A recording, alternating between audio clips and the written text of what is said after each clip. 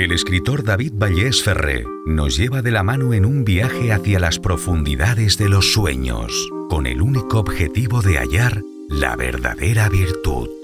Esta vaporosa búsqueda no es un camino fácil, sino una senda intrincada desde donde emerger como un dios o perecer como una bestia.